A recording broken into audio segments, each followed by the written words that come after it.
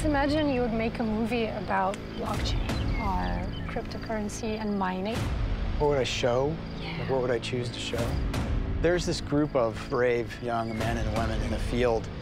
They're not here for a paycheck. They're here because they, they want to be a part of something that's really big that they can tell is happening all around them.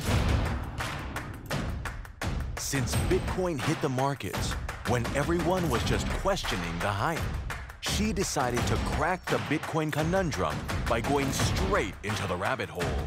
They said blockchain would do for the money system what the internet did for information. But why and how are Bitcoin and blockchain really changing the world? The crypto, the crypto space is an increasingly global phenomenon. The easiest way to describe what a blockchain is, it's a set of self-referencing groups of transactions. So Bitcoin to me is like stored value that you can do transactions with other coins. Sometimes it seems there's a crypto person in each building in Seoul.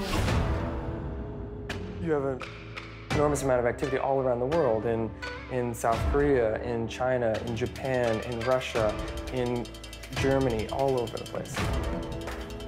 I think blockchain as a technology is, this, is the thing that's going to change the world. The mining is evolving, and uh, we need to go through this.